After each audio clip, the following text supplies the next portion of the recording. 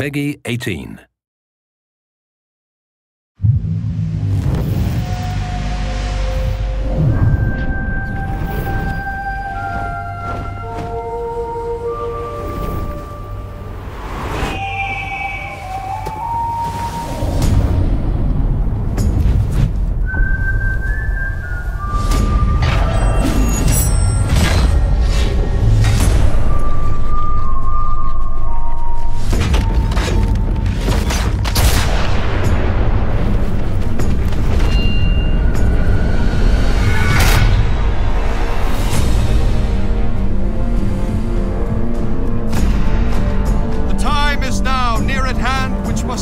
Determine whether Americans are to be free men or slaves.